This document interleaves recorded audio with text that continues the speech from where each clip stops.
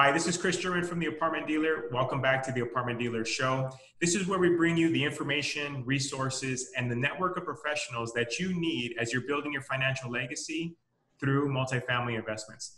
With me today is Mr. Michael Brennan. Mike has been practicing real estate law and representing landlords just like you for the past 13 years, but has been a landlord and involved in tenant landlord relations for over two decades now.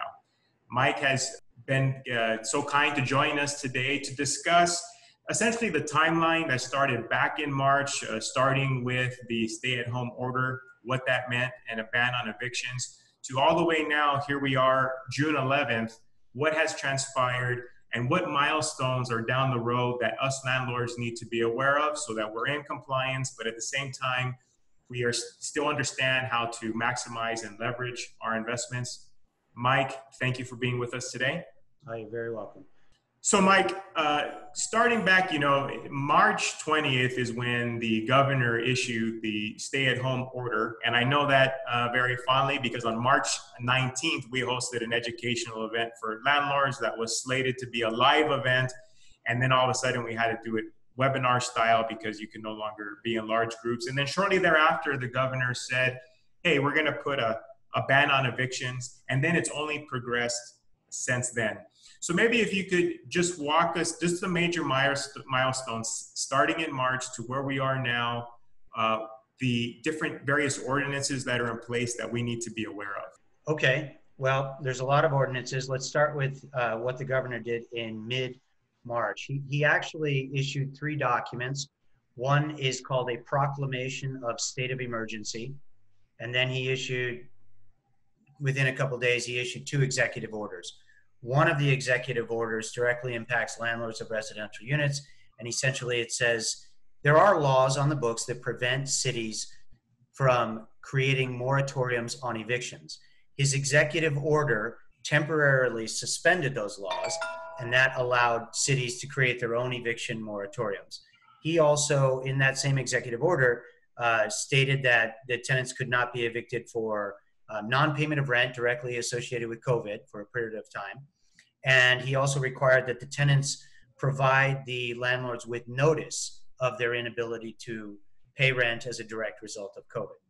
And if I could stop you there, so initially, if I if I remember correctly, the uh, moratorium on evictions was going to be for uh, six months. Is that correct from that initial order? No, the, uh, his initial order actually was much less. It expired May 31st. So that that was his order. Now, so there's a difference between what Newsom does, what the Judicial Council does, and what the local municipalities do, like LA County, LA City, you know, all the cities throughout California. So his was the the the proclamation of state of emergency, which is very important, has no expiration date. So that we'll come back to that later because that's a key fact here. So the proclamation of state emergency has no expiration date his executive order that allowed the municipalities to create their own moratoriums was set to expire on May 31st. On May 29th, which was a Friday night, he came out and extended that to July 28th. That sounds like a weird date. Why not just go to July 30th, 31st? Uh, it's actually a Tuesday as well.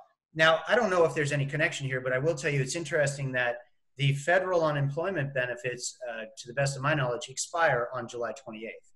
So his unemployment, his his executive order now expires on the 28th, which allows the ten, the cities to make these moratoriums, and I believe the federal uh, bonus, I'll call it, the federal bonus on unemployment also expires on that same date.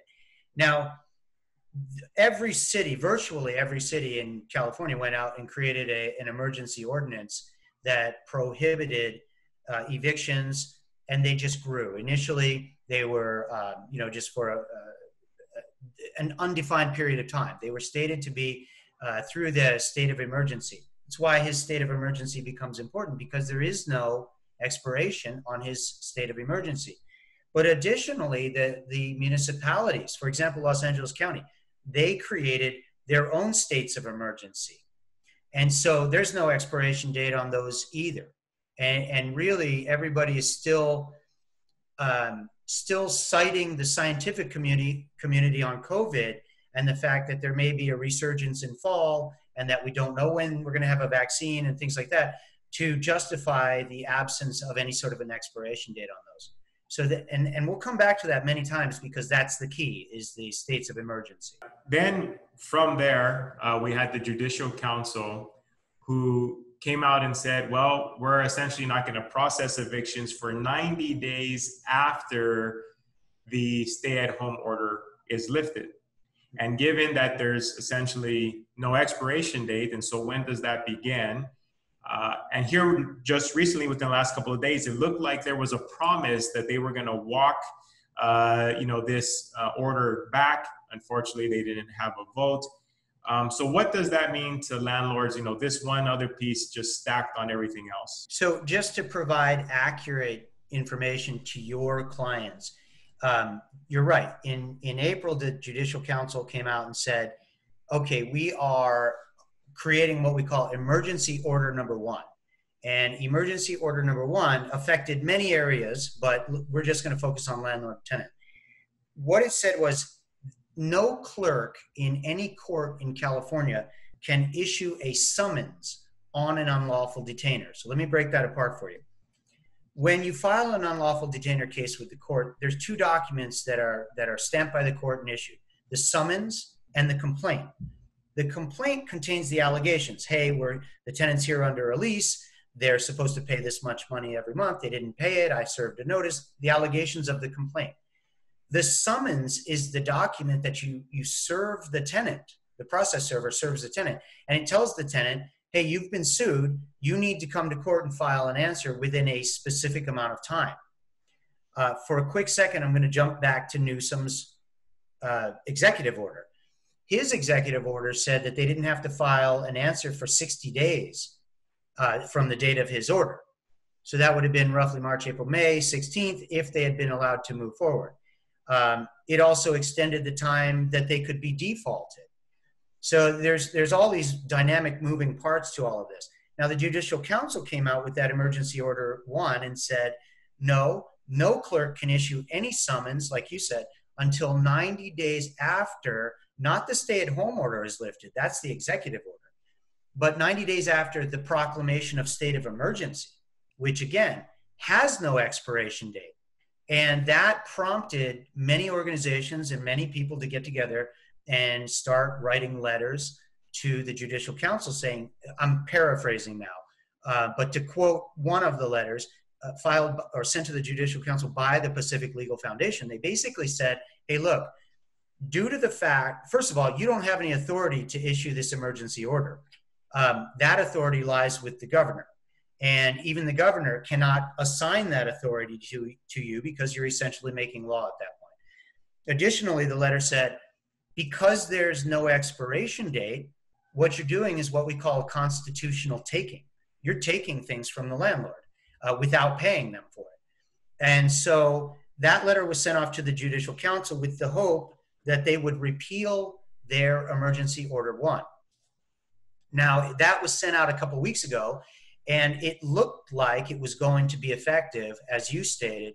A couple days ago, the Judicial Council came out and said, hey, uh, you know, based on this status and the changing and things are opening up, we are going to vote on, uh, it was yesterday, which was Wednesday, the 10th. We're going to vote on the 10th to repeal that portion that prevented the courts from issuing summonses, and we are going to allow them to start issuing those summonses on the third.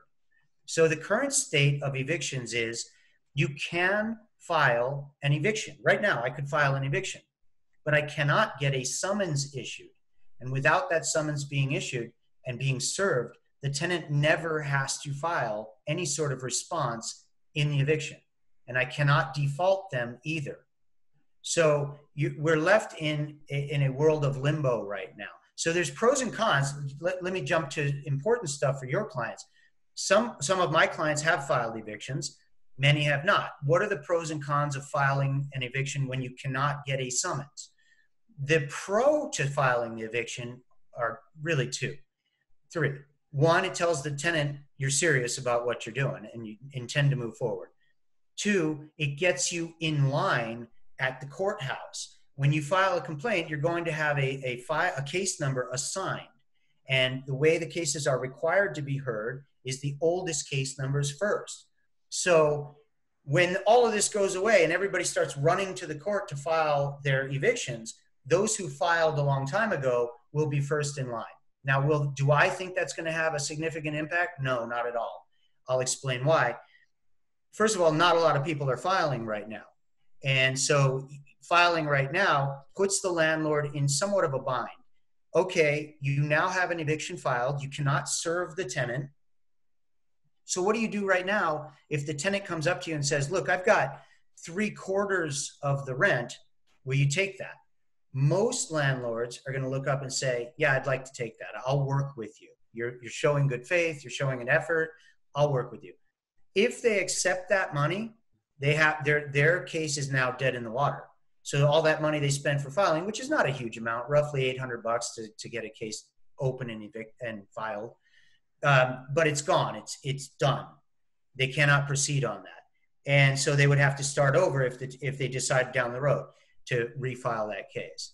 Um, the other pro to filing the eviction, though, is that the court is still sending out the letters to the tenants that says, "Hey, by the way, your landlord filed an eviction against you," and it opens the door. Theoretically, it opens the door to negotiating with the tenant because again, they see you're serious they see you're not waiting for the courts to open and they know you're going to move forward. The downside, again, is that the tenants, with all of the requirements, for example, LA and Santa Monica, those moratoriums require the landlords to actually provide all the tenant protections to the tenants.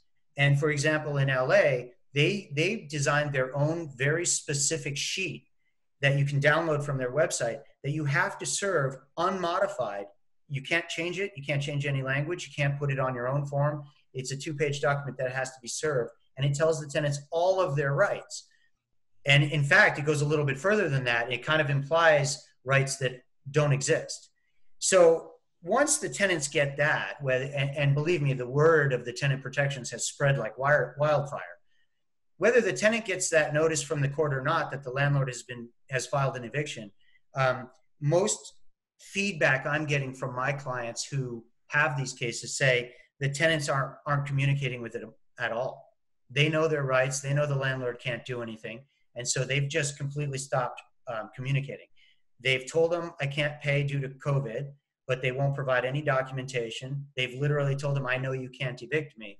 So again, it's why spend that money to file an eviction when it, you can't do anything with the eviction and that money could be wasted if the tenant miraculously shows up and says, I want to pay my rent now. So that's kind of where we stand today. Let's talk about now payment of rent if and when the, t- the tenants, you know, finally have the means. So I've heard different versions of this that the governor said, hey, uh, tenants have up to six months to pay rent that they fall behind. LA City, the tenants actually have 12 months. Correct. There's a new proposal, this AB 1436, that's now saying you must give a tenant 15 months, up to 15 months to prepay rent. Correct. If, if I have a tenant in default right now, the way the laws stand, how long do I have to give them to make up the back rent? It will depend on the jurisdiction the property is located in. So you you hit the nail on the head. You've got all these different laws and ordinances and executive orders, and they're all coming out with different numbers and the, the, it's impossible for me to tell you how long they have other than to tell you that all of this is tied to the state of emergency and we don't know when that's going away. So what i anticipate happening is well let me back up before i tell you that. One of the greatest challenges we're experiencing right now is with the legislation that is being contemplated up in sacramento if this were any other year we would have lobbyists. The, the landlord associations would have lobbyists that would literally walk into the Capitol. They'd set an appointment with the legislators. They would sit down with the legislators and they would talk to them face to face about the, the issues facing landlords, the challenges this legislation is posing, etc. Right now, those lobbyists cannot get into the Capitol, even with face masks and, and gloves. The, lo- the legislators are basically um, in the capital, isolated, not hearing any of the landlord concerns or challenges, and they're shoving this stuff through, attempting to shove this stuff through without hearing the other side of the coin. So that's a big challenge right now. So going back to 1436, You you you said it accurately. That will allow a tenant. There, there's more to that, and I'll explain it. That will allow a tenant 15 months after the expiration of either the the governor's state of emergency or the local municipality's state of emergency. 15 months after those are expire or are repealed to, to make that payment. Now let's get into a little bit of the subtleties of that. What, that, what does that really mean? Governor Newsom today could look up and say, okay, I'm, I'm repealing my state of emergency. But if any other municipality does not do it, so let's take LA County, for example.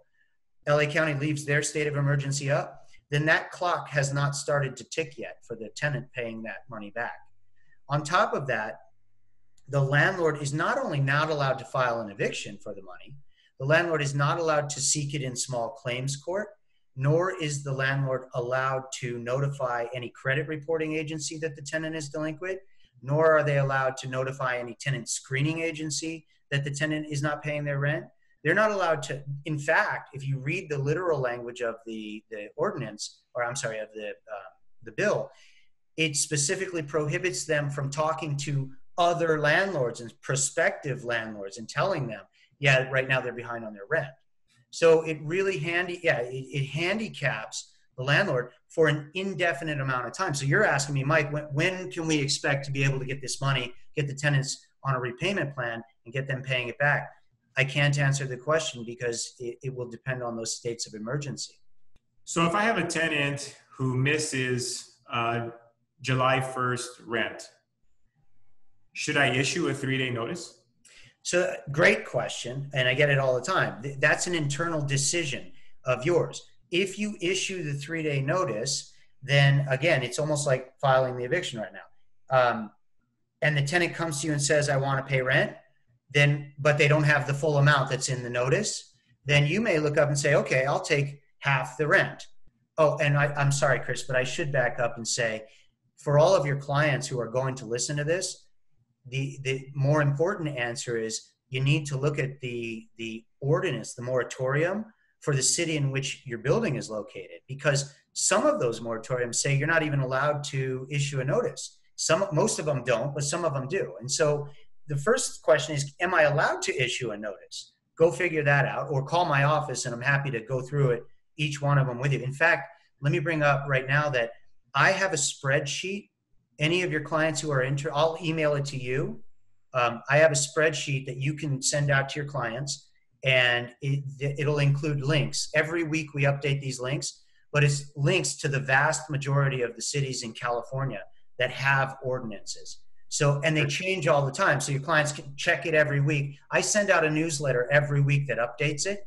So if they want the newsletter and they want to be added to the newsletter, no problem. Tell them send me an email and I'm happy to do it. But I'll send you that link that, so that's the first answer is check your local ordinance moratorium and see if you're allowed to. Let's assume you are allowed to. Then you ask yourself, okay, if I serve that notice and the tenant comes to me with a partial payment, what am I going to do? If you're willing to take it, take it, and then serve a new notice for the reduced balance. So yeah, I would serve a three day if, if the moratorium allows it, but I would also maybe include a short letter in there that says, look, you know, we know that this is a difficult time for tenants we want to work with you. We've had a great relationship up to now. Uh, let's work together. Communicate with me. Oh, call me, text me, email me, do whatever it takes to open those channels of communication. But let's work together to resolve this. If you take, let's say the rent is thousand dollars, and the tenant says, "Hey, I can give you five hundred dollars," and you accept that five hundred dollars, uh, you have not at the same time taken away your rights to proceed with an eviction for the remaining five hundred. Not at all. Okay. Not at all. It, one other thing I'll add to you, Kris, as these, as you know, every day there's changes in in this situation, and uh, there are strategies. I don't.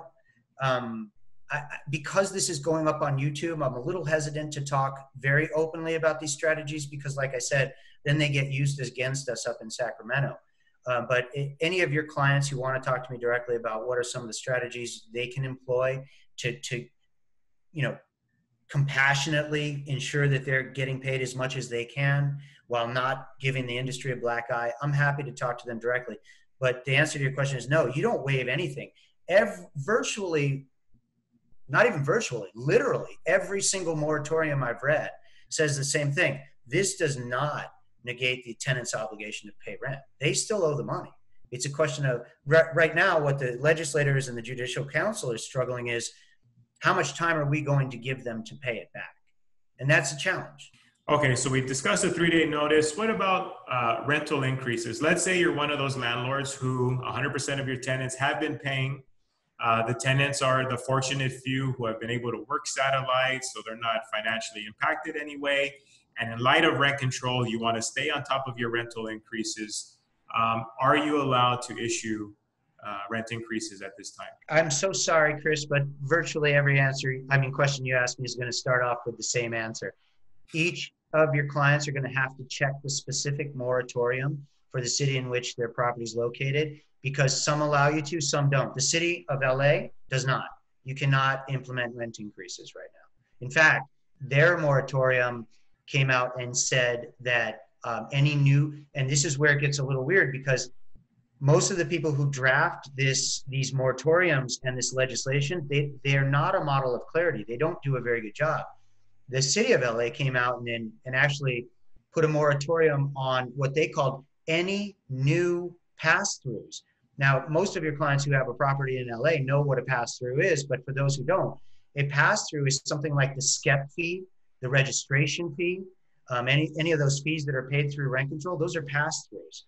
Now, the city of LA said no new pass throughs. Okay, what does that mean? Um, I can interpret that two different ways. I can interpret that to mean pass throughs that are due in 2020 because 2019 is already old. Uh, so those would be new. Or could I interpret that to mean that any new pass through that might be permitted, like for example, uh, let's say the city of LA comes up with a new pass through for seismic retrofit, right? To allow the landlords to to recoup a portion of the money they're spending on seismic retrofit, which they do have. So if they came out with that one now and said that can be passed through, is that a new pass through? So the bottom line is right now with the city of LA, no rent increases and no pass throughs. Because of the ability to interpret these ordinances and these, these uh, moratoriums in multiple ways, I encourage my own clients to be as conservative as possible in their interpretations uh, because a lot of these ordinances are drafted, or these moratoriums rather, they're drafted giving the tenants the right to sue a landlord for harassment, intimidation, any act to evict them, violations of the moratorium. That gives the tenant a right to sue the landlord. And so, um, again, I encourage my clients, and, and I hope you don't mind me speaking to your clients as well. When doing this, you ha- if you have a mom and pop who's looking at $3.61 a month, don't expose yourself to a lawsuit by, by demanding that that be paid right now or trying to pass it through. But if you if you've got clients who are owners or management companies with thousands of units at 361 a month, that adds up. That's a big amount of money. So they've got to understand the risks of the rent increases and the pass-throughs before they can make a decision as to which interpretation they're going to go with. Now, let's say uh, you want to do substantial improvements uh, to a unit. So under the current statewide rent control bill, uh, if you make one of these substantial improvements, and we've done various videos on what is a substantial improvement, uh, are you allowed to issue the 60-day notice so that you can do so? Let's let's say outside of LA City, because I know LA City probably has the most stringent of these rules. So let's say outside of LA City, um, is that still uh, permissible at this time? Uh, no, you you can't even serve that notice right now because of the statewide moratorium, which is in effect until July 28th. But once that expires, yeah, you can issue that 60 day. And in, LA, it gets a little weird, not just LA City, because LA County has its own moratorium and it is attempting to apply that uh, moratorium to non RSO units throughout the county.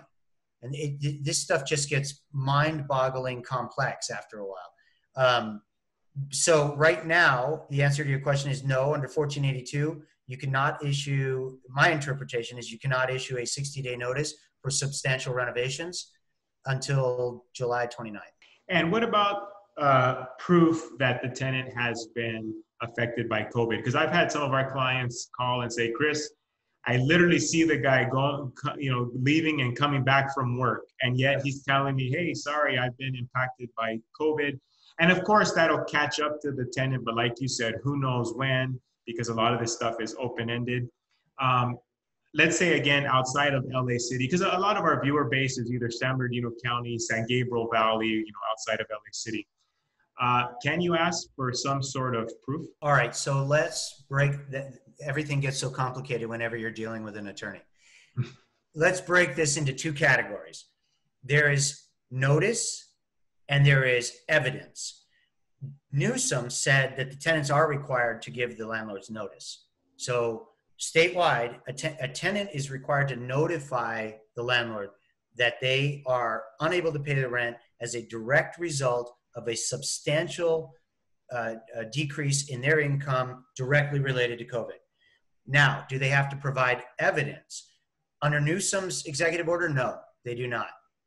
Some moratoriums say they do have to provide the evidence, but most say they do not. Well, let me rephrase that. Most don't even address it, they don't bring it up at all. And so, for example, what I was talking about earlier with LA City, and I know you said outside of LA City, but I, I want to, this is important.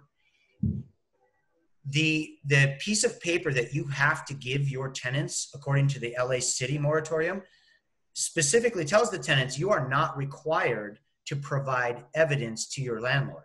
Now, that is not what the moratorium says at all. The moratorium is incredibly silent on that issue. But so it's not a lie. According to the moratorium, it never addresses the issue, so they're not required to provide evidence. But nor does it say, the, the moratorium doesn't say that they're not required to provide evidence. And so right now, you, your clients would have to look at the moratorium for their city, see if they're allowed to ask for it, because even asking for it could expose them to that harassment uh, uh, cause of action I was talking about before. I would certainly, if, if, there's nothing in there that prohibits them from asking, I would certainly ask, and I would certainly add a, add something in a in a letter, a very compassionate, nice letter, of course, but I would say something to the effect of, look, you know, at some point you're going to have to establish that your inability to pay rent right now was a direct result of a reduction in your income due to COVID. So let's not go down that path. Let's work together. Let's get through this together. You know, let me know what what was your diminished income. I would say that I would outside of LA, Santa Monica, the cities that we all know have prohibited it. Um, I would certainly ask for it. Yeah, okay. in a nice, compassionate way. Sure it doesn't hurt to ask. I guess if the tenant right. refuses, then it depends on your tolerance uh, for risk on do you continue to press the tenant from that point when you've asked and maybe they've you know they've said no to your request. Right. You know, uh, as an attorney, I'm, I'm always a little cautious about telling people to put things in writing because it could come back to bite them. Mm-hmm. But I, I'm going to trust that most of your clientele is, are fairly savvy people and they can think like, hey, maybe this should or shouldn't be put in writing because even if it's an entirely innocent document it still could be interpreted in a way that seems a little bit malicious. But uh, so reaching out to them they need to be careful what they say.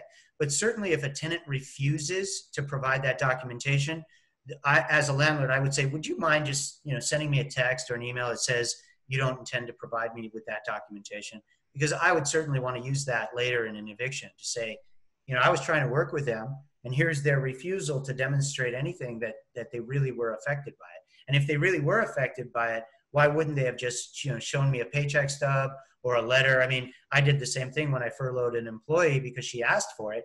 She asked to be furloughed.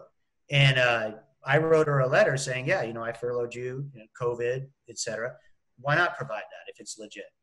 So the landlords that are watching right now you know i'm sure they're getting a little anxious in their seat because they're saying uh, basically what they've heard is there's not much they can do and not you know no one's really coming to their their aid and, and to their protection. And to the protection component you know many landlords are up in arms because they're saying hey there's all these various apartment owners associations. Why don't they all band together? Well, you know even uh, various attorneys who are involved in representing tenants and evictions and so forth.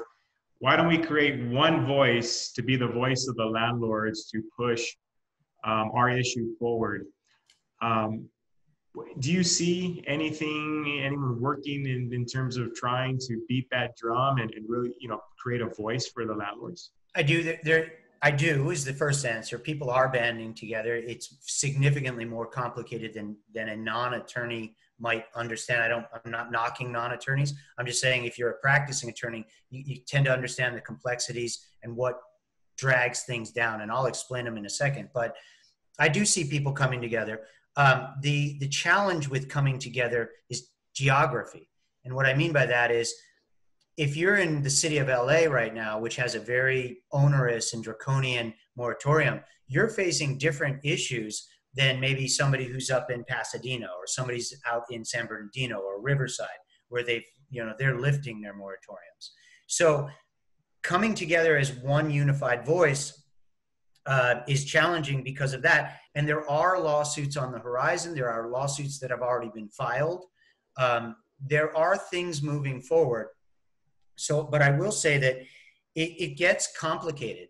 Uh, one of the thing, one of the things, well, I'll give you three things in particular that make it more complicated than people understand.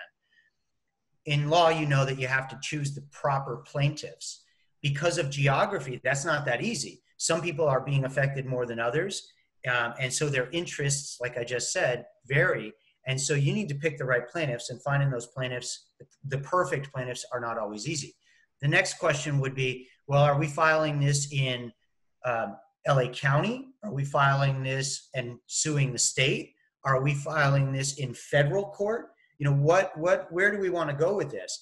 And last but not least, in fact, I think one of the most important things your clients would want to understand is one of the hesitations in filing quickly is that you need to get it right the first time because if you don't there is always the potential that bad law comes out of it. So if you file a lawsuit and it comes out against the landlords you just made law. You just made what we call precedent. And the last thing we need is bad precedent on our side right now that that backs up what the state is doing and what the judicial council is doing and gives them credibility because they'll just, they're just going to turn around and do if we have a case that goes in their favor in the federal court they're going to turn around and do this every time they want it's more complicated than having a car wash this weekend to raise funds for the the one lawsuit and in other words right. know, there's many moving parts to this but but something's being done and that's the good news yeah yeah you know they really uh, I know you do a lot of residential. You're a specialist in residential. I don't know if you do any commercial. Or most of my clients who have residential, or I should say, a lot of them also cross over into the commercial realm. And really, it's commercial that's getting just pounded right now. I mean, they're they're they're yeah, they're less than fifty percent on their collections, um, and they can't do anything either. Now, their moratoriums will expire a lot faster, um, but you know they're they're in this too, and they're just getting hammered. And in mm-hmm. fact, there's legislation, SB 939, that if that passes, that's going to allow a commercial tenant to completely cancel their, their lease, their fixed term lease, if they cannot come to an agreement within 30 days with the landlord. So, I mean, if I want out of my lease and I'm a commercial tenant, what do I do? I, I pretend to be negotiating with my landlord for 31 days. And then I say, hey, look, we didn't get anywhere. I'm canceling my lease. And like I said, hopefully SB 30, uh, 939 doesn't get passed, but that's as it was written, that's what it allows. So there's a lot of pain going around right yeah, and to clarify, so when Mike says residential, he means residential multifamily, and then of course would be like uh, commercial. Of course, would be like your strip centers, uh, right. Warehouse type, office. Yeah.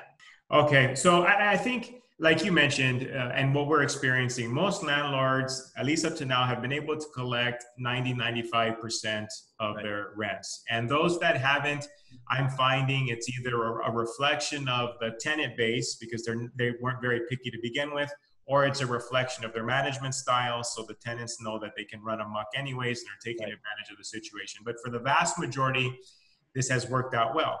But also to your point, uh, here in a few weeks, unemployment will run out. And if uh, jobs do not increase, it'll be interesting what happens then if the government doesn't uh, step in again. And if there's another bout of this, uh, you know, health crisis, you know, what will that mean? Of course, none of us know. Um, but this is why we want our landlords to be prepared going forward. Uh, one last topic here, because it is uh, a milestone coming up in, in less than a couple months here, is the new language that's required on leases because of rent control. And if you have an existing tenant, the notice that must be given to existing tenants for rent control. Uh, one, is this blanket for every tenant in California? And number two, what uh, does that language need to consist of? No, so there's, um, you're talking about statewide rent control, which is AB 1482, also called the Protecting Tenants Act, Act of 2019. That act requires only the units that are covered by 1482 to receive these notices. But having said that, my recommendation to all clients uh, of yours and clients of mine and landlord industries is all of the, these requirements should be being built into the leases moving forward in case you know these units that are currently not under 1482 fall under 1482 at some point in the future. Because remember um, 1482 has a rolling date. It's got the CFO has been issued less than 15 years ago. Well today that may apply not apply to your building. You may be you know exempt from 1482 but next year might apply to your building. So all of this stuff should be built into the leases and addendums and changes in terms of tenancy right now. But the, the notices you're talking about there's three of them in 1482 the first one is a notice of exemption so any property that's exempt from 1482 uh, that has to be served on the tenants uh, in, in either an addendum or a change in terms of tenancy. So let's say you've got a, a tenant They've been in there since prior to you know July of 2020, which is in a few weeks. Uh, I would do it, and they're on a month-to-month tenancy. I would do a 30-day change in terms of tenancy and notify them of the fact that this property is exempt. For the tenants who are in there in a fixed term lease, I would do an addendum to that lease and serve that as well. So that's the first one. You have, you've got to notify them that they're, the building is exempt from the property. I mean, from the rent control ordinance. The next one is you have to notice uh, the tenants of the applicability of the law to the property and including the rights. So that's kind of the same thing. If you've got tenants in there in a fixed term lease, do that in the um, addendum. Or if you've got tenants in there currently that are on a month to month lease, put that in a change of terms of tenancy. And then the final one is under 1482, if there, there's two different types of evictions. There's what we call at fault evictions where the tenant did something wrong. And then there's no fault evictions. For example, the, the landlord wants to occupy the property. Under 1482, if you, at, as a landlord, at some point in the future, if you want to take that unit back for either yourself, your children, anybody who's permitted to be an owner occupant, that language has to actually already be in the rental agreement. Otherwise, you won't be able to do it. So, the same thing for existing leases. I would put that in an addendum right now and serve it and notify all the tenants that it is your intent to do that. And for month to month tenancies, do a change in terms of tenancy.